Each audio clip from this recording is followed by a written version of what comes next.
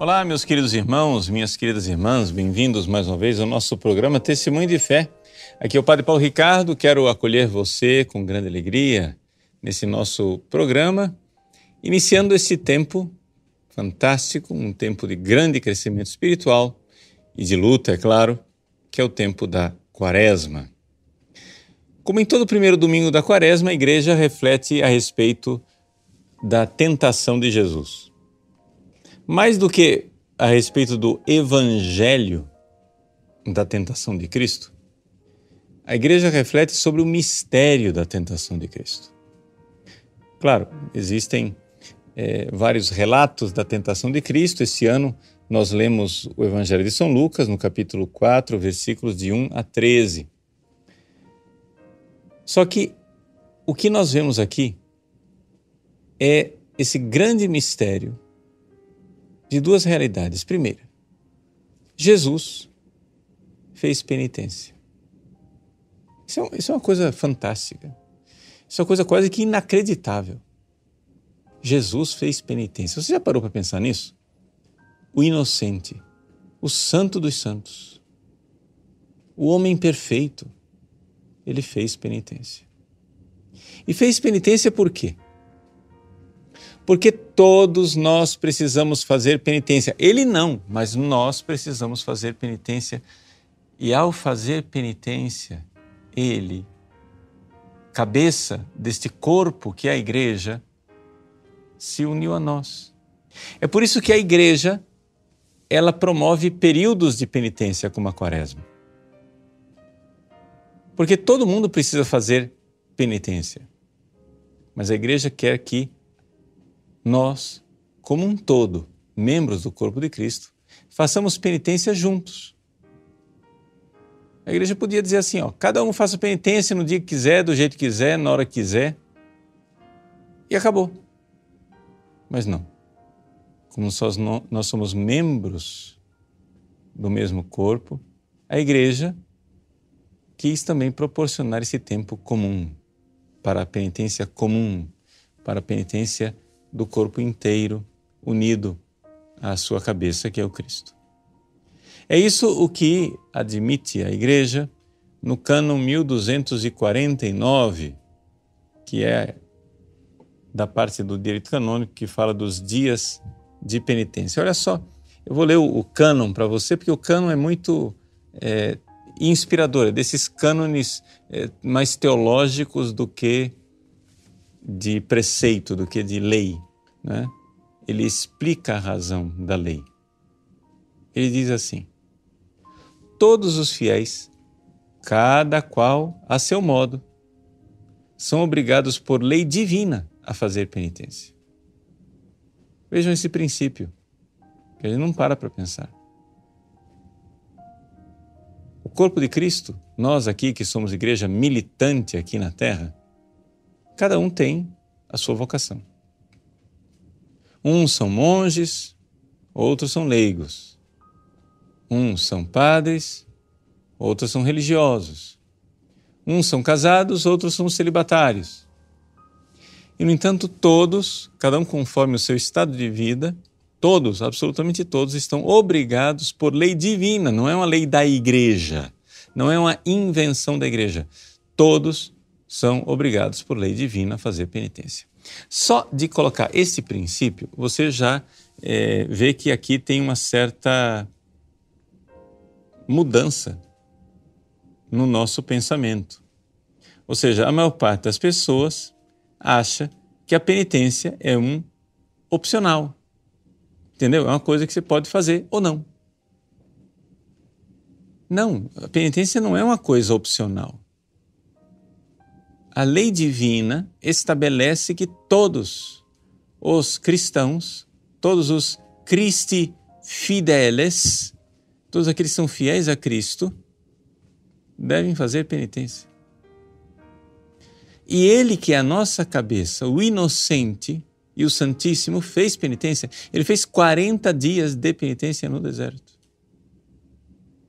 Além da, da sua vida de penitência na carpintaria de Nazaré, além da sua vida de penitência, pregando o Evangelho, não tendo onde reclinar a cabeça, padecendo calor, frio, fome, cansaço, perseguições, injúrias, além da grande e suprema penitência que foi a sua paixão e morte na cruz. Ora, todos devemos fazer penitência. E você diz assim, mas padre, de onde, de onde que eh, o Código de Direito Canônico tira essa loucura de que todos somos obrigados a fazer penitência? Mas que maluquice é essa? Meu irmão, parece que você não leu o Evangelho. Se alguém quiser me seguir, renuncie a si mesmo todos os dias, tome a sua cruz e me siga. Se alguém quiser me seguir, se alguém quiser ser membro do meu corpo, se alguém quiser chegar na glória da pátria no céu, renuncie a si mesmo e tome sua cruz. Tomar a cruz o que é? É a penitência do dia a dia.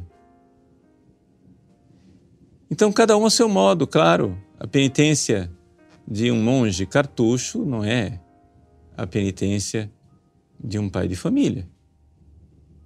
Mas cada um ao seu modo.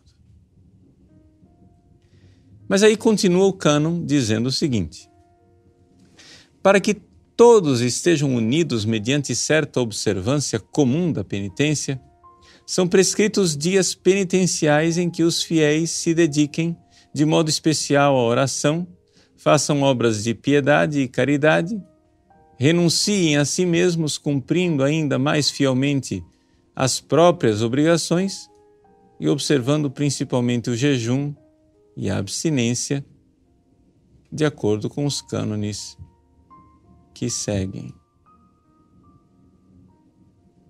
Vamos um pouco olhar para essa, essa realidade. Todos estejam unidos mediante certa observância comum de penitência. Então, esse é o tempo da quaresma. Esse tempo que vai desde a quarta-feira de cinzas, contando 40 dias, nós iremos chegar até o domingo de ramos, mas a quaresma ela ainda se estende pelo tempo da Semana Santa, não é? da segunda-feira, da terça-feira e da quarta-feira da Semana Santa, até amanhã da quinta-feira da Semana Santa, para então iniciar um tempo diferente, que é o tempo do Tríduo Pascal com a noite da quinta-feira. Então, esse é o tempo da Quaresma. Esse é o tempo penitencial por excelência na igreja. Então, nós entramos nesse tempo. É importante, então, você, é, como um bom cristão, um bom católico, é, recordar e, e, se lembrar que a quaresma não existe na hora que você entra na igreja e vê que o padre está de roxo. A quaresma existe no seu dia a dia seja, alguma coisa tem que mudar na sua vida, no seu jeito de ser, por estarmos na quaresma. Isso é muito importante, porque aqui na quaresma nós somos revigorados é, pela grande consolação de saber que não estou fazendo penitência sozinho. Misticamente, Cristo, nossa cabeça, faz penitência conosco quando foi ao deserto e no mistério da penitência de Cristo nesses 40 dias, nós também fazemos com Ele e ao vencer né, as seduções dos inimigos da alma, que são a carne, o mundo e Satanás, Jesus nos dá a vitória. Mas essa consolação de que o Cristo nos precedeu e está unido a nós em cada penitência nossa, ela aumenta ao sabermos que os mais diversos fiéis espalhados pelo mundo inteiro se unem a nós em penitência. Que grande consolação saber que nesse momento em que eu faço a minha pobre penitência, existe alguém mais santo, alguém mais virtuoso, alguém mais generoso do que eu que faz penitência também. Saber que nos cárceres da China, dos cristãos perseguidos e martirizados pelos comunistas na China. Aquelas pessoas santas fazem a penitência suprema e nós estamos unidos a Ele. É grande consolação sabermos que somos um só corpo. Nós fazemos penitência por eles, eles fazem também por nós e o bem comum de toda a igreja. Existem monges, grandes ascetas que nesse momento fazem penitência e fazem penitência conosco. Não estamos sozinhos. Por isso, a igreja, nesse tempo de penitência, né, quer que nós, fiéis, nos dediquemos de modo especial. Aqui vem, olha só, a programação da quaresma, está aqui no cânon. Se dediquem de modo especial à oração, façam obras de piedade e caridade, renunciem a si mesmos. Então, a quaresma é também um tempo de oração. Pouca gente é, se dá conta disso, que a oração e a penitência estão intimamente ligados, né? Porque porque as coisas vão juntas, né? Então é muito importante nós nos darmos conta disso, de que, por exemplo, o jejum, o jejum está intimamente ligado à oração. Não é que uma coisa é independente da outra. Estão juntos. E aliás, o jejum ele potencia a oração. Nesse tempo de quaresma, você pode fazer jejum generosamente. Não é mais necessário é, seguir o jejum da igreja durante os 40 dias, como era prescrito antigamente, ou seja, durante todo o tempo da quaresma, você faz uma única refeição por dia, depois os dois lanchinhos, aquele jejum eclesiástico, ele durava 40 dias. Agora não é mais necessário, mas você pode, livremente, generosamente, por sua espontânea vontade, fazer escolher pequenos dias de jejum, especialmente as sextas-feiras da quaresma, não é? E, sobretudo, se dedicar à oração. Por quê? Porque a oração tem o seu admirável complemento no jejum, porque a grande finalidade da oração não é transformar a vontade de Deus, mas é nos transformar. Então, então, se a oração tem por finalidade nos transformar, ao fazer um jejum, uma penitência, alguma coisa é, diferente, você está ali, de alguma forma, lutando com aquelas seduções dos inimigos da alma. Vamos recordar quem são os três inimigos da alma que nós estamos combatendo a nossa vida inteira, mas que devemos combater de forma especialíssima nesse tempo da quaresma. Os três inimigos da alma são, número um, o diabo. E aqui nós vemos um mistério maravilhoso no Evangelho desse domingo. O mistério da tentação de Cristo, não só o mistério de que Cristo faz penitência, mas também o mistério de que, terminados os 40 dias, de seu jejum no deserto, Jesus foi tentado por Satanás. É interessante nós nos darmos conta que Jesus não podia cair na tentação. É impossível. Ele é, é Deus que se fez homem. Mas Jesus quis ser tentado para que na sua vitória sobre Satanás, você vencesse. A vitória de Jesus é a nossa vitória. Portanto, quando você é tentado, você não está sozinho.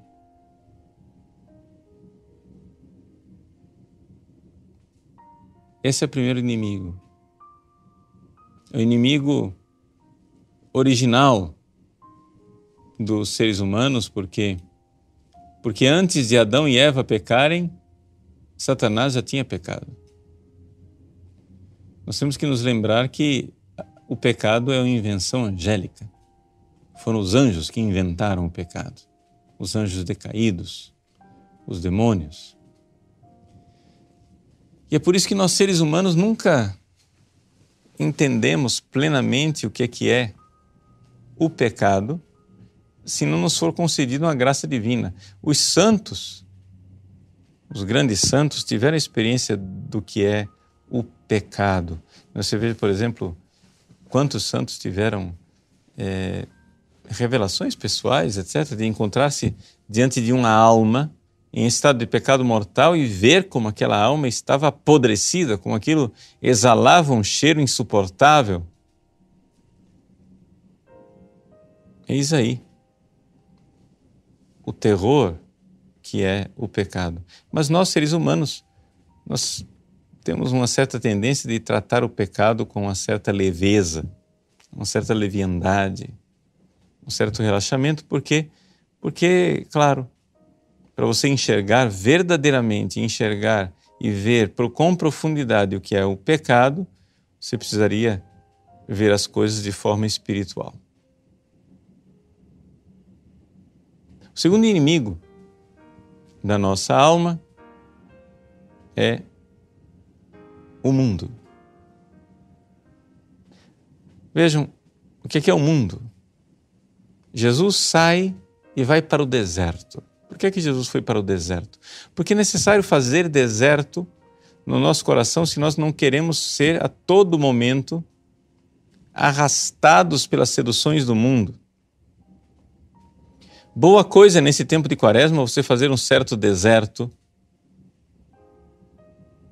de WhatsApp, de Facebook, de banalidades, de dispersões, de coisas que já viraram um verdadeiro vício para muitas pessoas, porque na verdade são janelas abertas para o mundo, para uma, uma visão carnal da vida, uma vida sem sentido, uma vida absurda, que vai correndo atrás dos prazeres, correndo atrás de uma realização mundana que nós sabemos que não, não vai existir.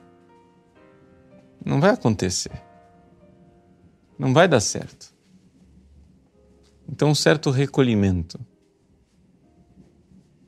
Recolhimento das influências do mundo.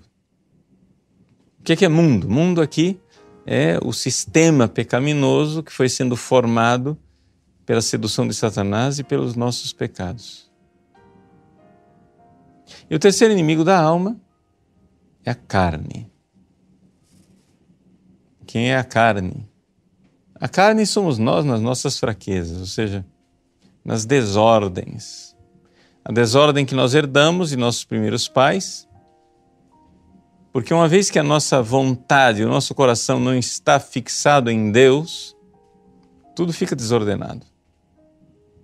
Deus é como que o eixo que põe em ordem, submetidos a Deus,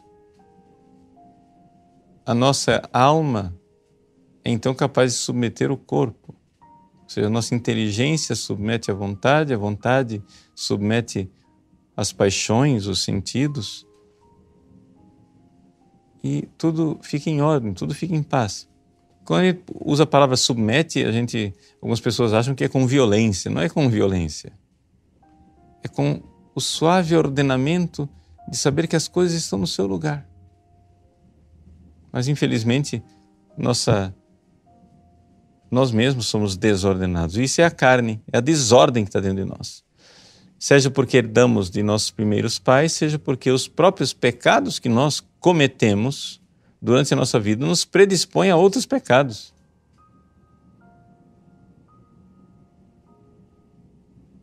Pois bem, juntamente com Jesus, os santos, nossos anjos da guarda, mas, sobretudo, com os nossos irmãos aqui na terra, nós entramos nesse tempo de penitência. E a prova maior de que a quaresma é realmente uma coisa muito boa. É a quantidade de tentações que aumentam durante a quaresma. Durante a quaresma, a gente que passa horas no confessionário atendendo as pessoas, a gente vê claramente. As pessoas são mais tentadas. Aí alguém pode dizer assim, de forma iludida: Ah, padre, então se a quaresma aumenta as tentações, por que a igreja não acaba com a quaresma? Porque aí acabava a ocasião da tentação. Não, mas acontece o seguinte: é que todas as vezes que você faz alguma coisa muito boa, as tentações aumentam. Só tem um jeito de você parar de ser tentado. É o seguinte: você se entregar de vez a Satanás. Aí não tem mais tentação. Ele já venceu. Ele não precisa mais tentar. Ele já sentou em você. Então, se nós não queremos ser vencidos por Satanás e ir para o inferno, nós temos que entrar na luta. É uma luta a vida do homem sobre a terra. Então, assim, nós viveremos esse tempo agora de quaresma, junto com a igreja, entrando com Jesus no deserto.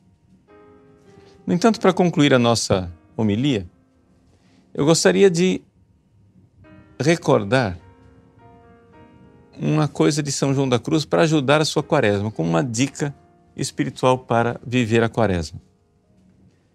São João da Cruz tem os seus ditames espirituais.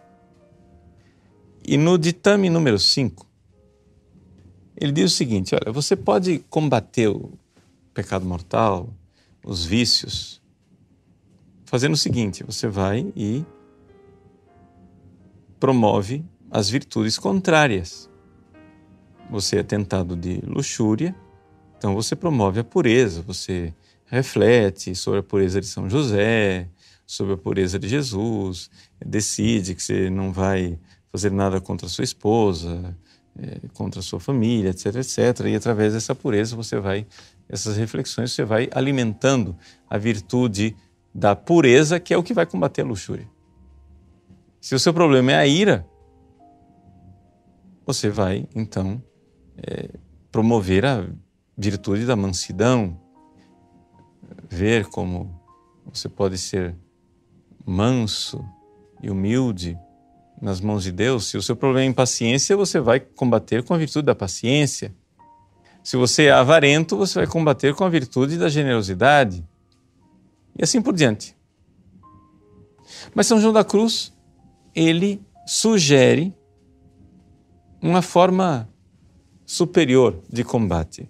É como se São João da Cruz estivesse lendo o último versículo do, primeiro, do capítulo 12 da 1 Coríntios, que diz assim: Mostrar-vos-ei um caminho superior, um rodós hiperbolé, um caminho superior, o caminho da caridade. São João da Cruz diz assim: Olha, a melhor maneira de combater os vícios são atos anagógicos e amorosos. Desculpa o palavreado difícil, mas eu vou explicar o que é que é anagógico. Pedagógico é aquilo que conduz crianças, né? Paidosa é criança, agoguem é conduzir. Pedagogia é conduzir crianças. Anagogia é conduzir para cima. Aná é para cima em grego. Um ato anagógico quer dizer você levar sua alma a Deus. Um ato anagógico e amoroso é quando você está sendo tentado e você diz: Jesus, Senhor, vós estáis aqui, vós me amais. Eu quero vos amar também, socorrei-me. Esse ato de elevar, um ato de devoção, de amor a Jesus, em que você une a sua alma a Deus. É claro que os santos mais elevados, quando realizam esses atos anagógicos, de levar a alma a Deus num ato de amor, ah, eles vencem completamente o diabo. Porque é como se o diabo atacasse o santo, mas ele não está mais ali, ele subiu, subiu de andar. Atacou o santo no corpo, mas o corpo, o, o santo subiu para o andar espiritual. Então ele deu uma flechada, mas o santo não está mais lá. Nós que não somos tão santos, ainda temos que promover as virtudes, mas podemos desde já, nessa quaresma, ir praticando esses atos de amor, esses atos de fé, uma fé incendida, cheia de amor, onde nós elevamos a nossa alma a Jesus o tempo todo, várias vezes por dia. Aproveite, portanto, nessa quaresma para elevar a sua alma a Jesus, em atos de amor, em flechadas de amor. E cada vez mais esses atos de amor vão sendo mais incendidos, mais ardorosos, mais cheios né, de fervor. E é Ele quem será o vencedor, não você. É Ele quem vai vencer Satanás e não nós. Então vamos lá, é tempo de quaresma. Elevemos nossa alma a Deus. Corações ao alto, diz a igreja, sursum corda. Vamos, em atos anagógicos e de amor. Entremos na igreja, com a igreja nesse tempo de penitência, mas é também um tempo especialíssimo de amor e de elevação de nossa alma a Deus. Deus abençoe você. Em nome do Pai e do Filho e do Espírito Santo. Amém.